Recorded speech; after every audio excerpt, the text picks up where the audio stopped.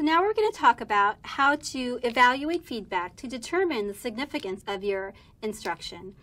You can do this by simply creating surveys. The, so, in the, distributing the surveys at the end of your course, whether it's an online training course that you link to an online survey or an instructor-led training class, which you pass out a physical survey that people complete anonymously. What you want to do is try to assess or evaluate your course according to several levels. Those levels um, can be thought of as the four levels of training evaluation, which were described by Donald Kirkpatrick, whom said that there is a difference between how people feel about a training course or an educational class. There's a, and how what they actually learn out of the course. There also is a difference between perhaps whether the course affected their behavior, which should not, which sometimes is different and independent from how people feel about a course. And at the organizational level, there is also a difference between how it was affected um, despite what people may have thought about or learned from or behaved differently as a result of the course. These are the four levels of evaluation.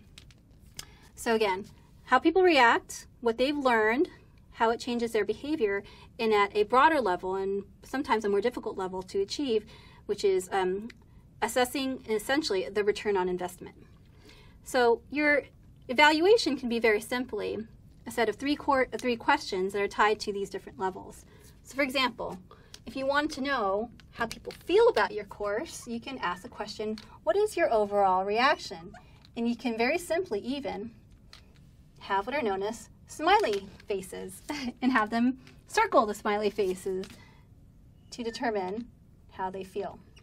Always have all kinds of extremes from a happy smiley face to an unhappy one and a neutral, a neutral kind of center point, which means that folks um, perhaps didn't have a reaction to your course.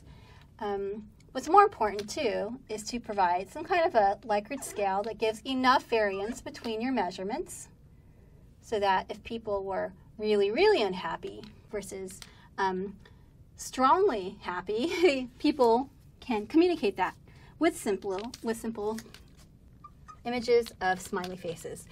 To assess learning, you can leave this as an open-ended question.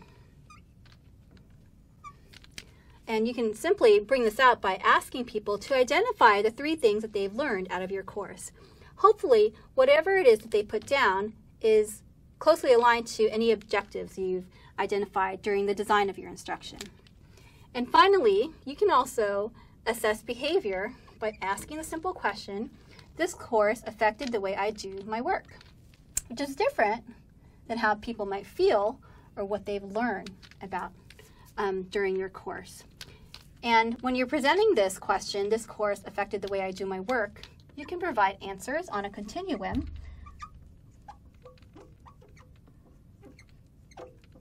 where people can indicate whether they agree or disagree.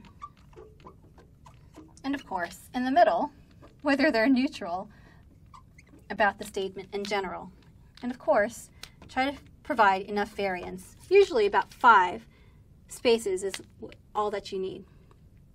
So again, what you want to do is provide a way of obtaining summative evaluation of your instructional initiative by measuring reaction, learning, behavior, and hopefully results. And that is how you evaluate feedback to determine the significance of your instruction.